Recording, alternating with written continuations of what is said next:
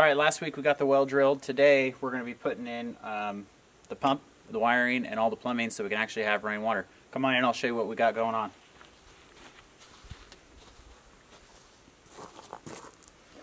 Okay, so this is the pump we're using, and we had to go with a um, 115 volt pump. This is a submersible pump. This is actually going to go down in the well about 100 feet. And we went with the 115 volt because it's going to be a lot easier on our solar system that this is going to be running off of. Um, and we're putting this in ourselves because we just want to save a little money and it's going to be a lot cheaper than having someone else come out and do it. Um, we've never done this before, but it seems pretty straightforward and we're going to give it a go. Um, I know the first thing that I want to do is I'm going to tie this thing off um, to our poly rope, which is also 100 feet. And this is basically what's going to hold this thing from dropping down in the bottom of the well. Okay, so we got the rope tied off to the pump, and this pump, like I said, is going to go all the way down 100 feet into the well. Next step is to get some Teflon tape onto this top fitting. And this is basically going to go into the top of the pump. And then our pipe is going to run up 100 feet to the top of the pump and I'll show you how to get that on there next.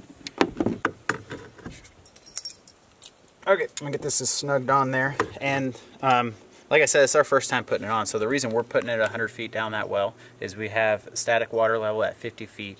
And the well company who gave us the quote on putting this down there said that's where they would put it, It would be at 100 feet. So we're gonna go ahead and do the same thing.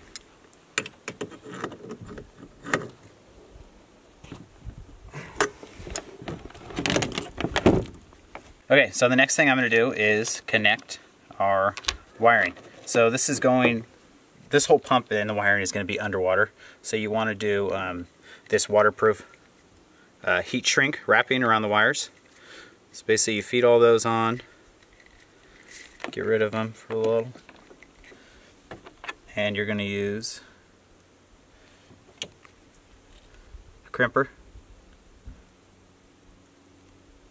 and crimp those on. And I'm going to do all these and then we're going to crimp it to our 100 feet of 12-2 wire and this is made for actually going underwater for submersible pumps and it's 12 gauge and you have your two wires plus the ground.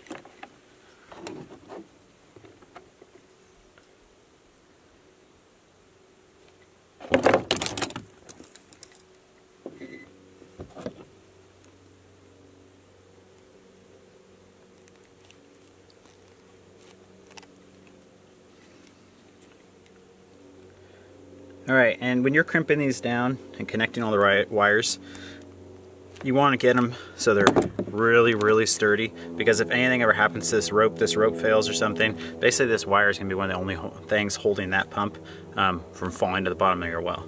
Okay, so we got this all wired and you basically just want to run the heat shrink right over the top, get it in the middle, and you basically want to heat it and what that's going to do is shrink it and form it right to this wiring, uh, create a waterproof seal.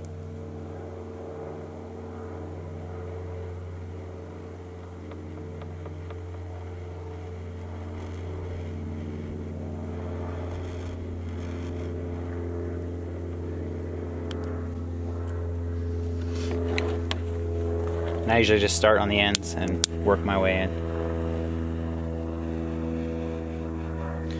A bigger torch would work better, but you can use one of these. You can even use a, a lighter. You can use a, a heat gun.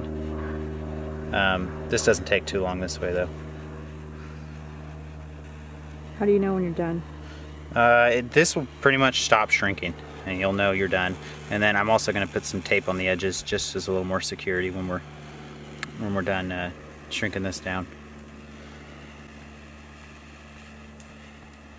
And you want to keep moving the flame around because you will burn a hole in this stuff.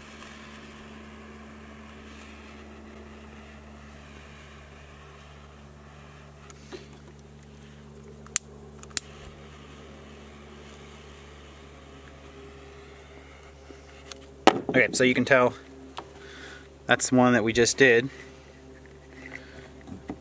And that's basically what it looked like before. So that's going to create a watertight seal. Now what I'm gonna do is just run a little extra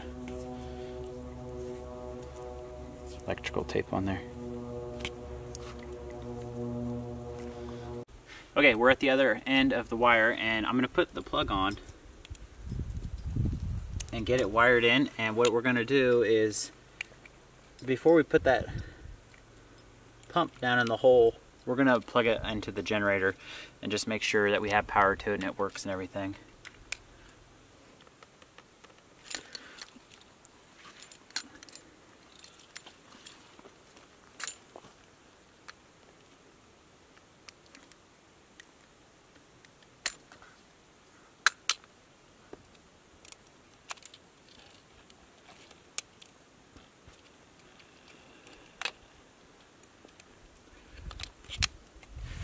Okay, uh, I got the plug wired into my Firman generator and we're gonna check if it works real quick.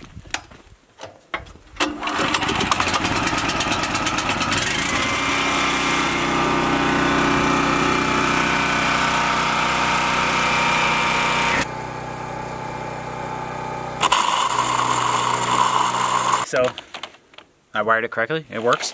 Uh, our next step is going to be to get our pipe um, onto here and then we're going to tighten it up with just some nice stainless hose clamps. And hopefully we'll be able to get this on. Um, if not, we'll have to heat this plastic a little bit. So let's see what it does.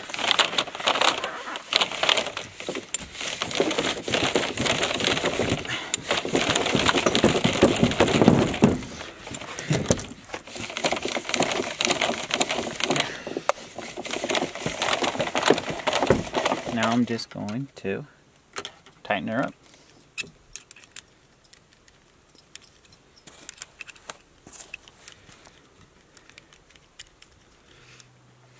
Okay, we got our hose clamps on and I'm just going to run some tape over them to keep any sharp edges from getting near our wiring because we don't ever want to have to pull this thing up.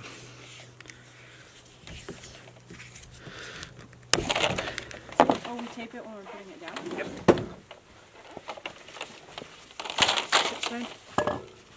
Okay, so we have everything the way we need and we're going to start lowering it in. Luckily we have two people, so Errol's mostly going to hold on to our um, safety rope, make sure we don't lose it down here. I'm going to slowly feed it in, and then we're going to tape the rope and the wire to this pipe about every 10 feet or so. And um, we'll just show you guys a little bit of us lowering it down in there. Ready? Yeah. Ain't no going back. You tied that rope tight now? You're trying to get the wire in against me.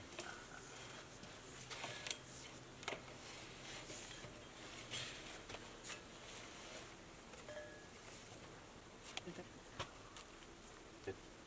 Job.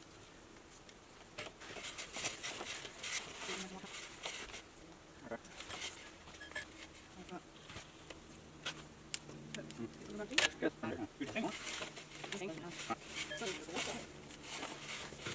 Yep. Okay, so we got it down uh, without dropping it yet. So I'm going to run my wiring through our well cap.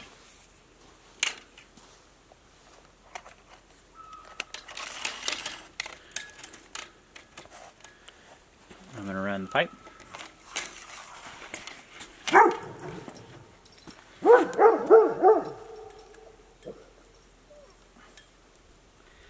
And then I'm going to untie my rope. Make sure to hold on to it because I don't want to lose this thing.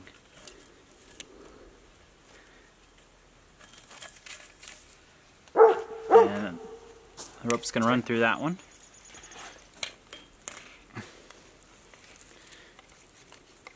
Okay. And this is basically what's going to feed through um, that hole and it's going to hold the rope on to us. So give this a couple times around.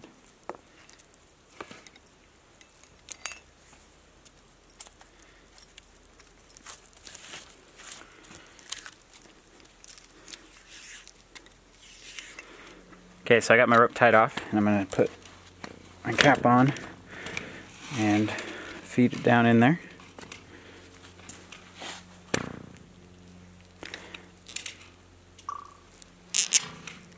Okay.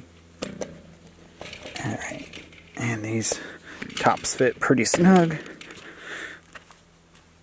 Okay. Okay, now all this is doing is pinching the two pieces of the well cap together and there's a, a rubber gasket in there and it pushes it out and that's gonna hold this in here so you can't get it on or off.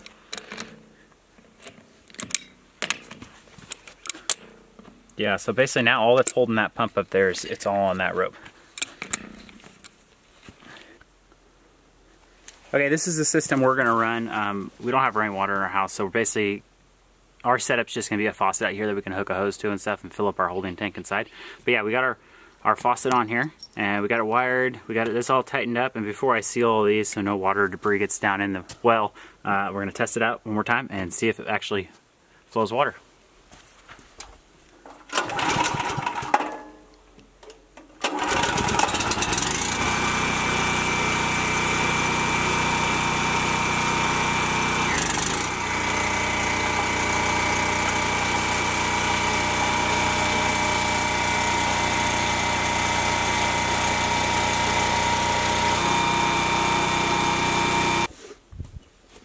Okay, so Eric put some outdoor caulking on there.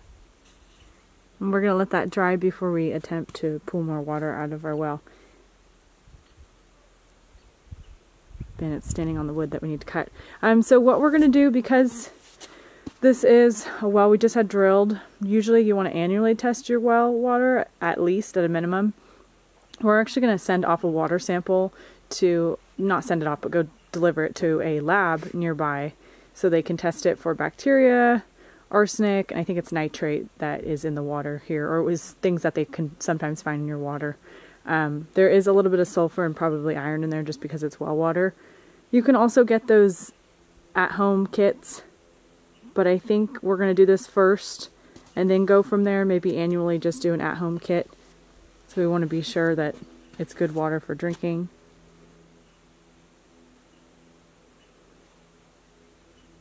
I'm just glad we got running water. We don't have to pay for it anymore.